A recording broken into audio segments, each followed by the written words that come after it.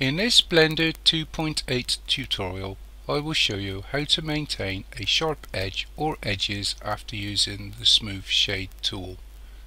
I've assumed you have some knowledge of working with Blender. Other tutorials can be found in my playlists.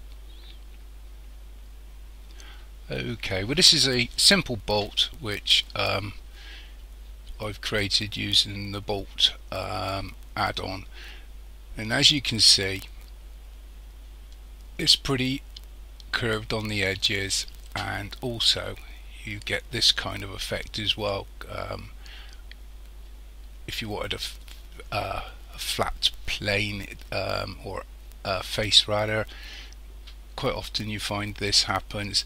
Now there are a couple of ways in fact there's more than a couple of ways but I'm just going to show you two ways of uh, creating a sharp edge.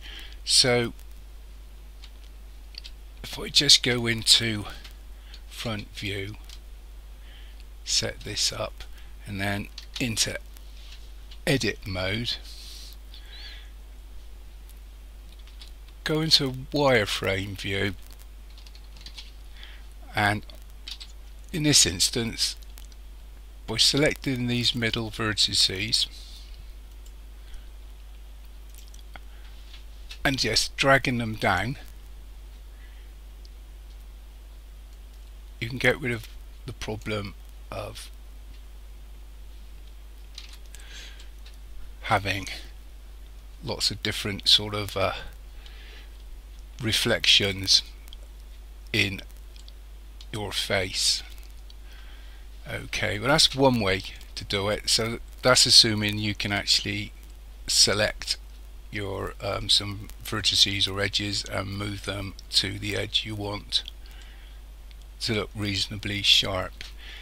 The other way is a little bit more sort of well, not difficult but if you select an edge that you want to make sharp this is where I assume you know a bit about working with Blender. So effectively I've selected this edge here. Come up to edge you can use shortcut E if you want or control E rather. And then look for something called mark sharp. Then back up to edge again and then left click on edge split. And now you should find that you've actually got a sharp edge. And you can do this on any parts of the object you want to work with. And that's all there is to it really. Hopefully this helps somebody. Thank you for watching. Cheers